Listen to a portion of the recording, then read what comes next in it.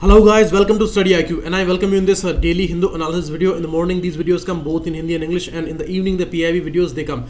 In Sunday on Sunday uh, PIB videos they don't come but uh, on all other days all the lessons are available and uh, the PDF you will get on the Telegram channel and on my Facebook group that uh, I have given you on the last page and 7th of April it is let's start. These are the numbers there you can call and you can ask for these pendrive courses. All are important saving lakhs of your rupees. And you see the reputation of study iq uh, is like that they have created their own image by their hard work. All the teachers all the team the kind of attention they have the kind of focus they have on their work and uh, hard work smart work and the strategist uh, uh way that they are they are uh, giving to you people that is unparalleled. And there is no show off all are focused uh, areas that they are concentrating on for students and these courses are extremely important.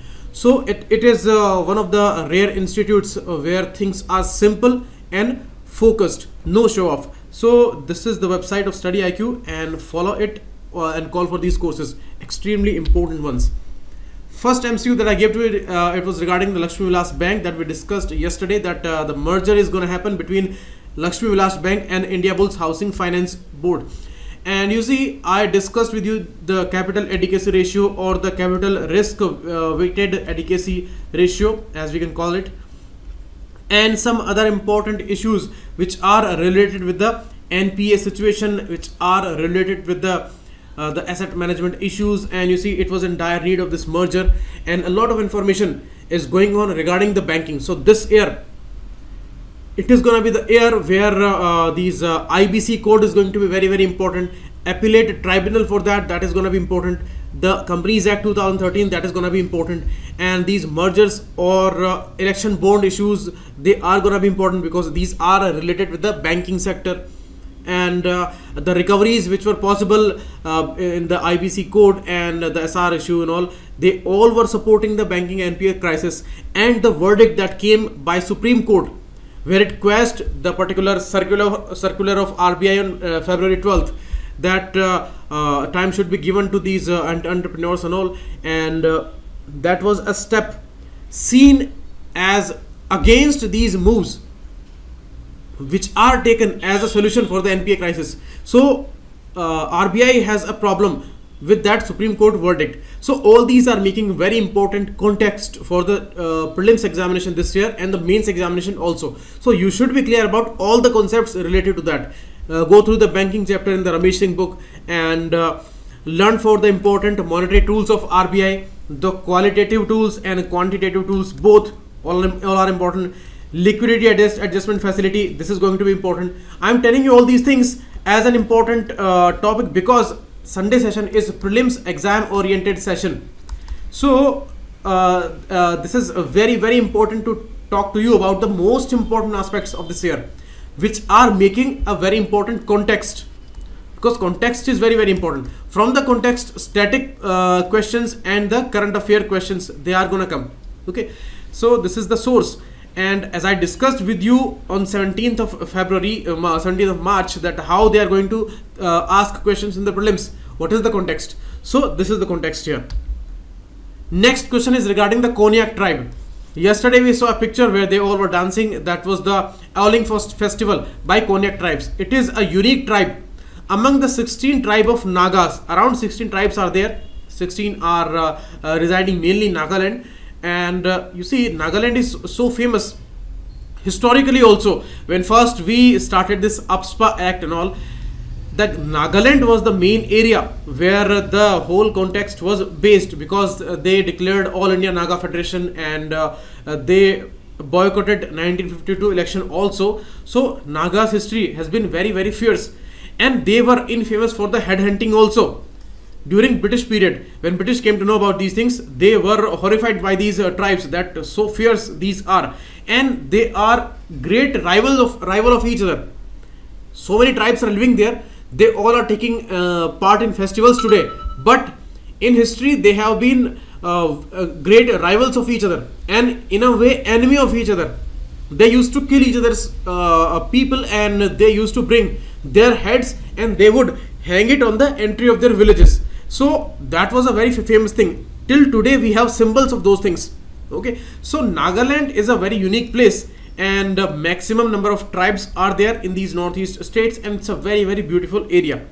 But some uh, uh, skirmishes some troubles uh, some uh, disturbances are also there. Government is now trying to finalize the nagaland deal as they signed it in 19, 2015 but uh, now they are going to complete that. So it's in a last phase. So they are trying to find new avenues peaceful avenues there. But uh, there are challenges. So nagaland would be very very important this year. So konyak tribe is belonging to nagalands and they are one of the naga tribes. Facial tattoos are their uh, important uh, characteristics. And uh, faces hands chest arms skulls everywhere they put these tattoos. And you see they uh, these are unique tribe things or the practices which are setting them apart from other tribes are gunsmithing iron smelting brass work gunpowder making and they also adapt in uh, making janglao which are matches. Means uh, they have their own technologies also. So that's very important. They inhabit mainly the Mon district also known as the land of the Angs because Ang uh, are their traditional chiefs whom they hold in high esteem. And Aoling festival which uh, uh, we saw the picture yesterday celebrated in the in the first week of April from 1 to 6 to welcome the spring the spring season that is going on. And this is biggest festival of the Konyaks and it is important for the seed sowing because after spring they are gonna sow the seeds. So after uh, uh, this phase would go after summers are completed then the harvest time would come. And the harvest festival is Lao Ong Mo. So that is also important. So this year tribes are to be very very crucial because you see we saw a great important topic of forest right acts and the cancellation of the uh, forest dwellers uh, claims on their particular lands. So this year the PESA Act of 1996 and the FRA Act of 2006 and these tribes these will make the important context uh, for this year's questions important background. So you should perfect all these things. The harvest festivals the spring festivals the specific new years like losar festival is there in the tibetan area in the area of sikkim in the area of eastern uttarakhand and uh, the northern nepal area they celebrate uh, losar festival and that is the uh, tibetan new year. So that these kind of details are important. And the important folk dances like manipur's sankirtana and assam's bihu or uh, the mighty group uh, Meitei group which is there in manipur and mizoram tribes all these are going to be extremely important this year because many issues are centered around tribals and the forest dwellers okay so they may ask you about all these things some important southern tribes like uh, uh, toda uh, which are there in the Nilgiris, they are hunter and gatherers. So they may ask you whether these are traditional uh, agriculturists or hunter gatherers or they are involved with some kind of a specific task like Irulas. Irulas are found in Kerala and they are snake charmers. And one uh, very, very famous person Govinda is there. He uh, catches king cobras barehandedly. So these are very important details regarding tribes. The Kandhamal uh, haldi this time uh, which uh, has given the GI tag that is grown by Odisha's tribe. So Odisha's tribes are also going to be very very important. There are 75 particularly vulnerable tribal groups PVTGs and the maximum number of PVTGs are there with the Odisha state so these kind of details they are asking you and uh, the central region of India mainly the red corridor where these uh, maximum number of tribes are living so they may ask you about that. They may ask about the Gonds, Baigas, Abujmars and Chandals and all uh, that uh, they are present in which state. So these kind of detail, details are going to be very, very important this year. So I'm telling you all the important backgrounds for the prelims this year. Okay, and which are hovering around tribal issues. Next question is uh, regarding these cities. They are cities of Iraq. So B is the answer here. You see, Baghdad is the capital. Ramadi, very important city. Ibril, Mosul, Kirkuk, all important historical cities Samarra very important city kut very important city and basra city near, uh, located near the port of bamiyan and uh, you see this part is the only part which is open to the water body of persian gulf. Okay so uh, this is important. Mesopotamia is the ancient civilization's name which was present which was present in this area. Tigris and uh, Euphrates rivers which are coming here uh, on the banks of these rivers the, Mes the Mesopotamia's uh, civilization was located. So they may ask you uh, questions regarding that and uh, other cities are important. Syria cities like Al-Raqqa, Aleppo, Damascus, Home all are important. Okay. So uh, in the context of ISIS when they destroyed all these cities and one more city on the eastern border of Syria that was important. From where they uh, subdued and removed the last lot of ISIS groups. Half of them they surrendered, half of them they disappeared in the Syrian deserts. So the city's name was on uh, letter B. it was starting from letter B. So tell me the name of that city where they were located at last and after that it is declared that ISIS is no more there in the Syrian region and the Iraq region and the Kurds issue was very very important in this area they may ask you about the geographical territory of Kurdistan and the Levant area so uh, they are gonna be important this year next question was regarding the capitals. Uganda Kampala right south sudan's capital is abuja not bangui. Bangui is car's capital central Afri african region republic of congo kinshasa. This is interesting. You see uh, congo was a single country. Then it became two countries republic of congo roc and drc democratic republic of congo. So the capital of drc is kinshasa Brazzaville, which is located uh, nearby just across the border. So Brazzaville is the capital of Republic of Congo. So this is a confusion, a famous question. Angola's capital is Luanda. Okay, so these are gonna be very, very important. And 1 and 4 is the right answer here.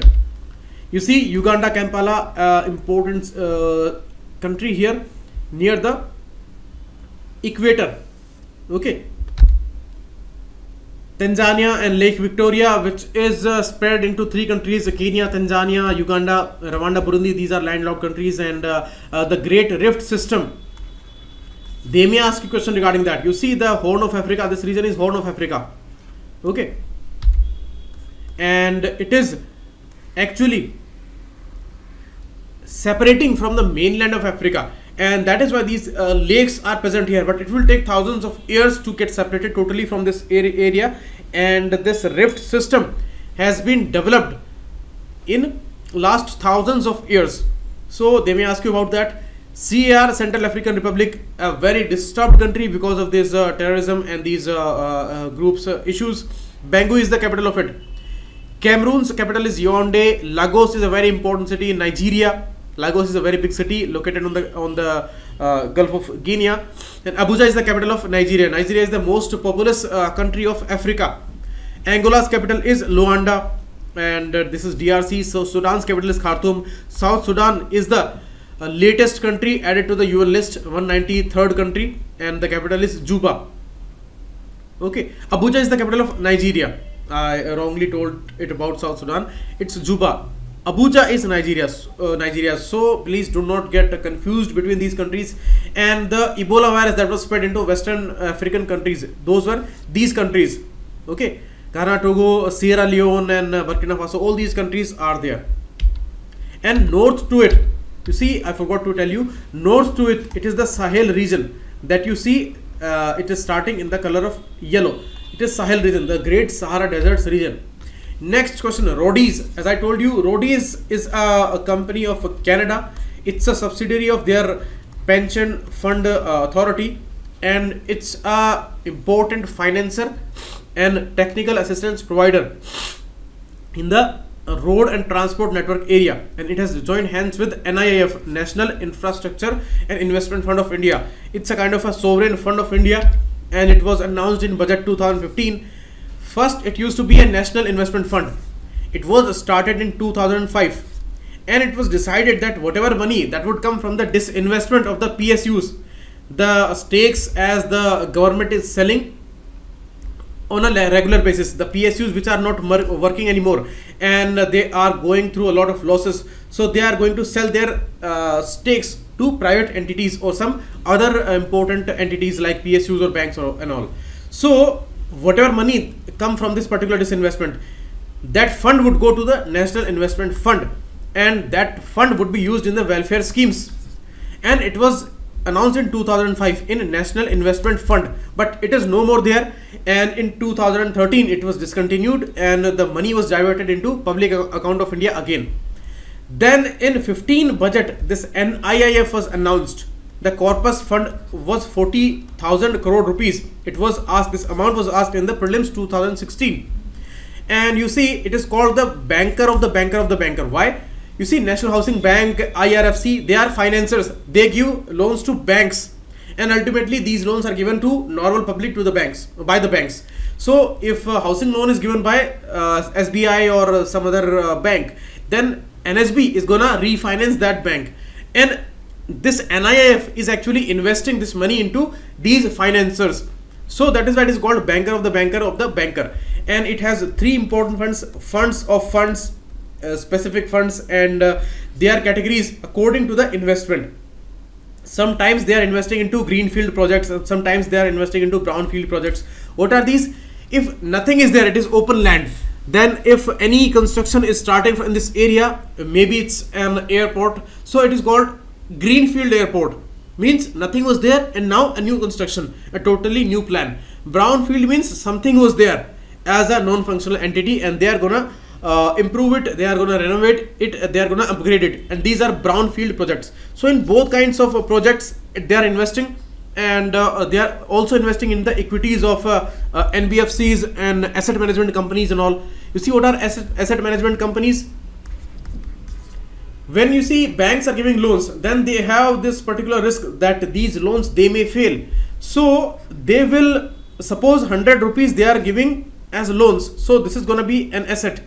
If they are recovering from it, they are getting the installments. Then it is an asset. It is uh, the money that banks are earning if they think that uh, this 100 rupees loans that may be a defaulter then they will sell it maybe for 70 80 rupees to a asset management company if this is going to be a default uh, it's it's going to be a defaulter loan then banks would not have all the loss because they have sold it for 80 rupees to the asset management company. Now asset management company would have to deal with it that how they are going to recover it.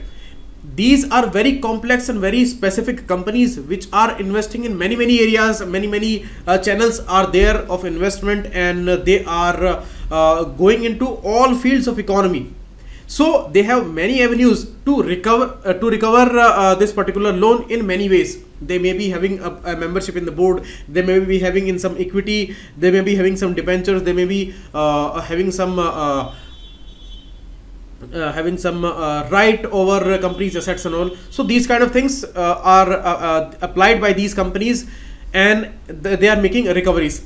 In the 2008 crisis these were the asset management companies who failed and the biggest asset management companies of the world like the company of Warren Buffett and all and uh, the the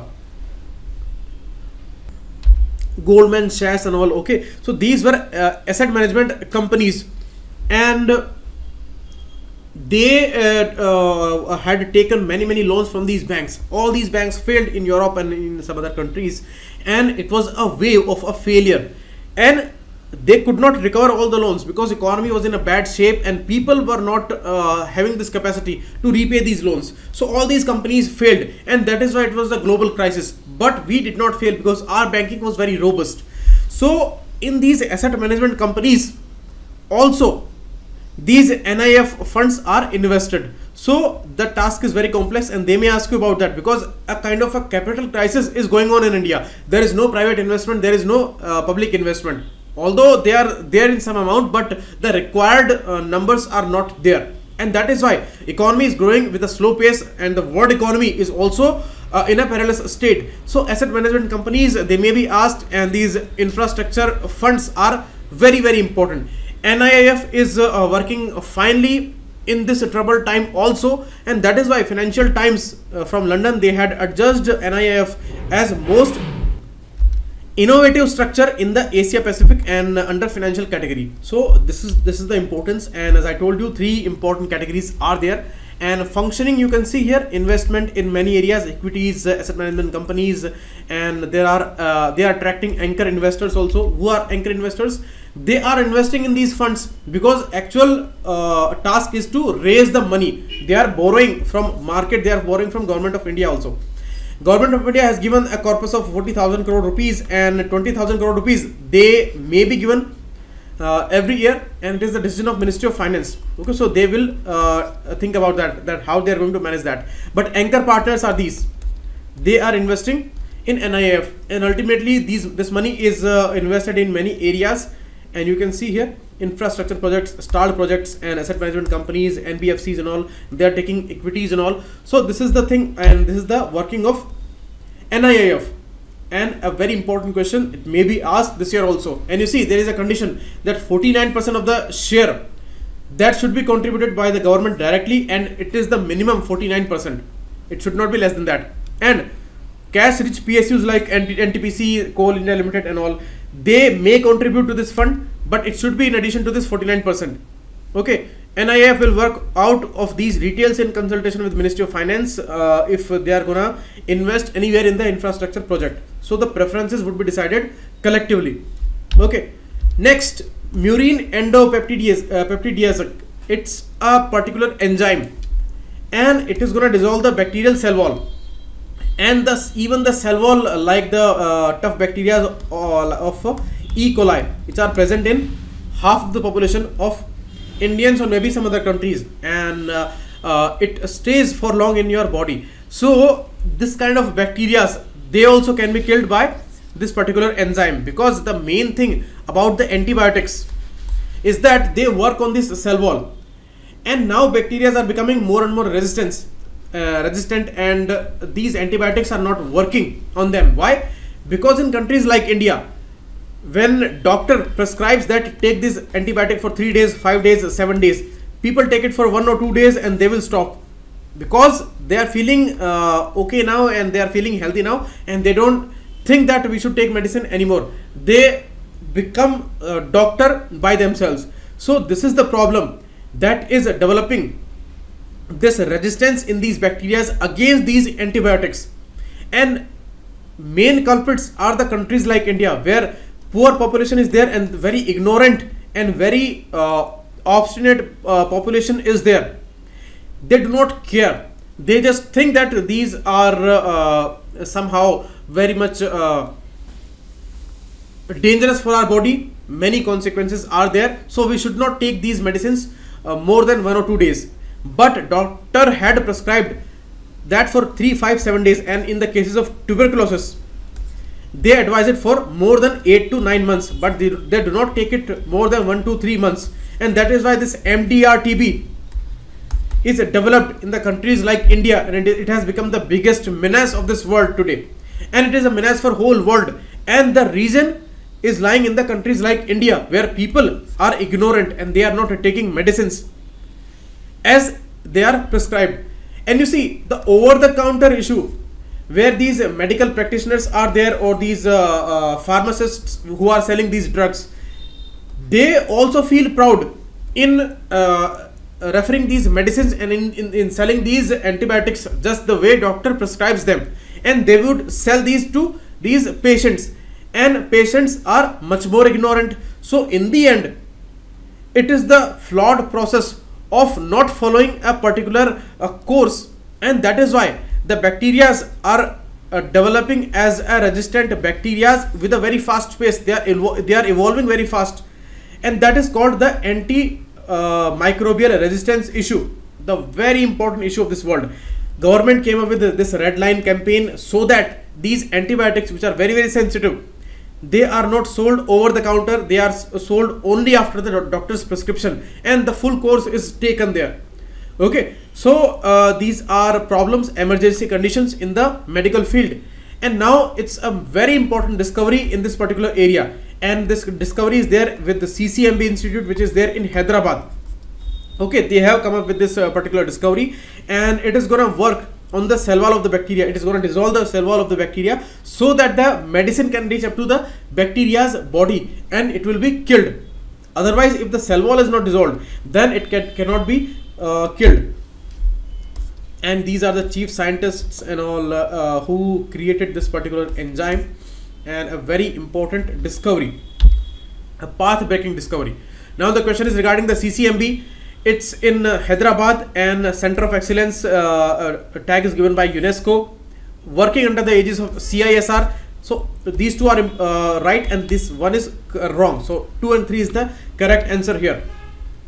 Biosafety level 4 uh, containment facility is available with this CCMB institute, only one uh, in India. That's very important. And all these institutes, important research bodies, research organizations of this world, they have joined hand with the uh, CCMB. It's a very re reputed institute in India and working under the aegis of CISR. So they may ask you question regarding CISR. They may ask you a question regarding CCMB and uh, this particular tag by UNESCO and about this particular enzyme and all the working of it. Very, very important for this year. These are the words that I found today and uh, now the MCQs that I'm giving to you.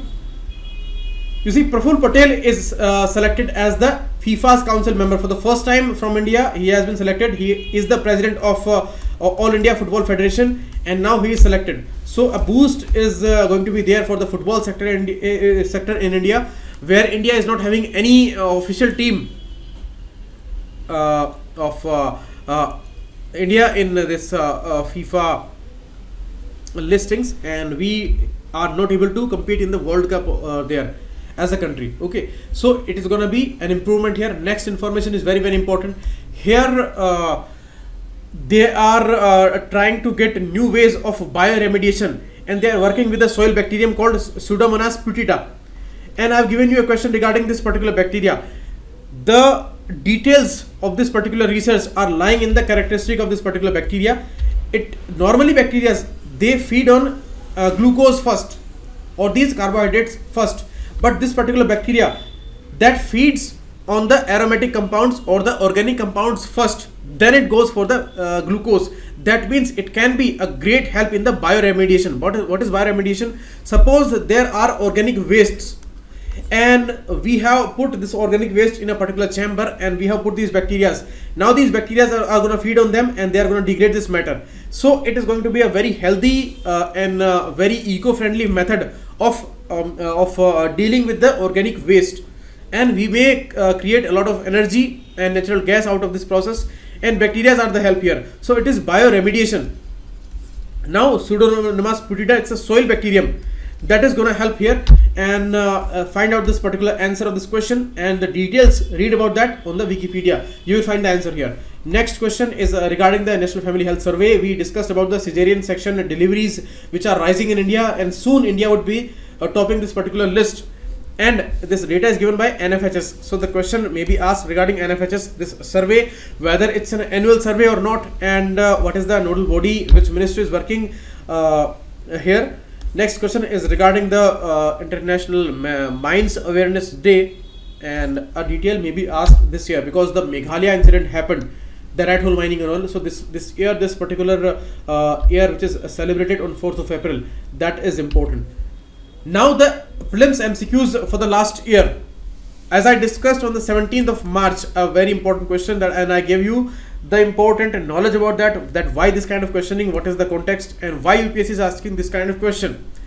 This year you see there may be questions on the uh, Supreme Court's working. There may be questions on Lokpal's or, uh, organizational setup. There may be questions regarding CBI, its working, and uh, the selection and uh, transfer and the removal. Who is responsible? I told you yesterday regarding the CBI's dilemma where uh, Lokpal has some authority over it, government has some authority over it, and uh, it can take so amount of cases. So there are multiple directions which are working on CBI. So there may be question regarding that. So all the provisions which are there in the Lakshmikant's book, you should go through them. You should do a research on these topics which I am giving you. And last year there, was a question regarding NGT and CPCB. You see these are the bodies which are appearing daily in the newspaper. Some other than information is there. Even today, if you go through the newspaper, you see Green Court asked Pollution Control Board to prepare noise pollution map. This news was there two three days back, and NGT is asking CPCB both are statutory bodies. Ngt act came in 2009 and uh, since 2010 it is working as an important tribunal. And cpcb was established under water act of 1974 so it's an important uh, organization as a statutory body. It is a deriving power from air act also of 81 year and uh, environmental protection act of 86 which came after the bhopal tragedy. And uh, that is also given direction to it. So many many acts they are giving direction to the cpcb body and it is working under their provisions and uh, it's a body under ministry of water and uh, uh, the uh, river ganga and, and all, all these things okay so CPCB is also very very important body. In the states, there are pollution control board. It is uh, uh, working on NAMP also, National Air Monitoring Program. So that is also associated with the CPCB. So so important this body is that many many questions you may make out of CPCB. More than 10 questions can be framed. So important this issue is because it is dealing with the pollution issue it is dealing with the ecosystem uh, balance issue it is dealing with the mismanagement of uh, urbanization process and uh, the uh, problem which is so bad in india. World's 15 most polluted cities are there so cpcb becomes the most important body as a statutory body. Okay so this is going to be important this year also so last year also this was important that's why they asked a question regarding ngt and all and uh, this was the Ravi Shankar's uh, event that was going on. NGT gave many many uh, threatening to uh, their program because they polluted Yamuna a lot. So it was a question regarding NGT and CPCB. Very simple and important question. From the environment section, there are 20 to 25 questions every year. So you should read every detail regarding these bodies and I'm, i have given you many many many questions over that. And i'm also working on the uh, mock questions series also that i told you about yesterday. And today it is sunday i'm going to work on that uh, particular thing. So let me give some time and in one or two days i will upload these uh, this pdf on the facebook uh, page of mine. And uh, facebook uh, group is, is also there. And on the telegram channel of study iq i'm also going I'm, I'm also also going to upload these questions. Okay. So read about that so that is why last year they asked a question about that and very important simple question. And it is having many many confusions also. Because it was established under water act cpcb was established under water act and uh, uh, taking power from air act and directions from uh, environmental protection act. So it's very confusing. That is why they asked a question regarding that. Next a debate was going on regarding the uh, socialistic feature of our constitution and the secularism, secularism aspect of our constitution. Things which were added uh, in 42nd amendment in 1976 so originally secularism was not there in the constitution. So some right-wing politicians they do not accept this thing and they say that originally it was not a part of the constitution. So we uh, want to change it. And you see, uh, secularism is now a part of the basic feature. But the debate was going on that whether we can change some things of the constitution, whether this uh, basic feature doctrine, it may be reviewed by the Supreme Court. So changes in the constitution was the basic idea here. And this ninth schedule which was brought up in 1951 by the Nehru administration where uh, if some act is uh, put under this ninth schedule then there cannot be any changes there cannot be any judicial review of it. So this was again controversial in uh, 73 it was uh, discussed again that whether there can be this kind of uh, provision in the ninth schedule that uh, there would not be no judicial review. So this debate was going on and because of this that context they asked uh, about these particular topics. These are simple topics of polity and uh, these chapters of amendment these chapters of parliament these chapters of uh, uh, uh democratic features and uh, the important chapters of fundamental rights dpsps these are the most important chapters in the Lakshmikant book. So you should read each and every line of that book. All other subjects you can go you can go with the summaries but you cannot go uh, uh, with the summary of Lakshmikant. You can never go. Every line has question and every question is very very specific. And you cannot score in polity if, if these deep explanations are not clear to you. So you have to uh, read things thoroughly and you have to remember as much as you can. But in perfection you have to remember that. So that is why this question was important the people who are doing a deep study of the polity this was a very simple question. The people who are doing a superficial study they could not answer this. Okay. So that is why this was this was asked in the uh, paper last year and uh, this is all about today's lesson. Uh, this has become uh, uh very long today. So uh, i am working on those questions. So please give me some time. And pdf you will get on the telegram channel and, the, and on the facebook group. Send me a request and i would upload all these question paper series pdfs on this group also on this telegram channels also. So be, be prepared for that. Thanks a lot. Keep watching